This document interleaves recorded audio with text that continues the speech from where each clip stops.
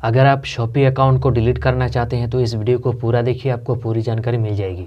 Account को permanently delete करने के लिए नीचे देखिए मी पर आपको क्लिक करना है।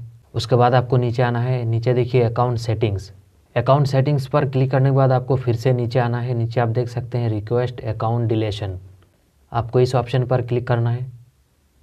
अकाउंट को परमानेंटली डिलीट करने के लिए आपको ओके वाले बटन पर क्लिक करना है। और आपको फिर से प्रोसीड आपको यहाँ पर क्लिक करना है। आपने जिस मोबाइल नंबर से लॉगिन किया है, वो मोबाइल नंबर आपको डालना है। अगर आपने मोबाइल नंबर से लॉगिन नहीं किया, ईमेल आईडी से लॉगिन किया, फिर भी आपको यहाँ पर आपको एक मोबाइल नंबर डालना है। मोबाइल नंबर डालने के बाद आपको नेक्स्ट पर क्लिक करना है। आपके मोबाइल नंबर पर एक ओटीपी आएगा।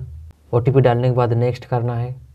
उसके बाद यहाँ पर रीज़न पूछा जाएगा। सिलेक्ट रीज़न यहाँ पर क्लिक करना है। सिलेक्ट रीज़न पर आपको तीन ऑप्शन मिलेंगे। नीचे आपको आदर्श मिलेंगे तो आपको आदर्श पर क्लिक करना है। उसके बाद यहाँ पर आपको रीज़न लिखना है।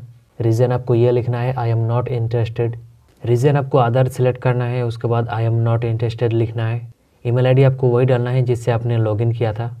उसके बाद यहाँ पर टिक मारना है और फिर सबमिट पर क्लिक करना है। कन्फर्म डिलेशन का ऑप्शन आएगा तो यहाँ पर आपको कन्फर्म वाले बटन पर क्लिक करना है। उसके बाद यहाँ देखिए योर अकाउंट वाज डिलीटेड तो आपको ओके वाले बटन पर क्लिक करना है। फिर आपका जो अकाउंट है, वो परमानेंटली डिलीट हो जाएगा। वीडियो को लाइक करें, शेयर करें और आपने अभी तक हमारे चैनल को सब्सक्राइब नहीं किया तो सब्सक्राइब कर लीजिए और साथ में बेल आइकन को भी प्रेस कर दें।